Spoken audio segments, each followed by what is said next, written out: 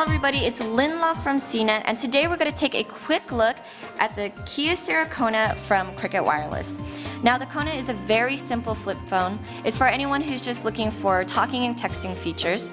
It has a 2.4 inch display and on the front it has a 1.4 inch color display that shows like the time and the date and the battery life. It runs on Cricket's 2G network and on the back here is a 2 megapixel camera and um, it runs on an 870 milliampere hour battery.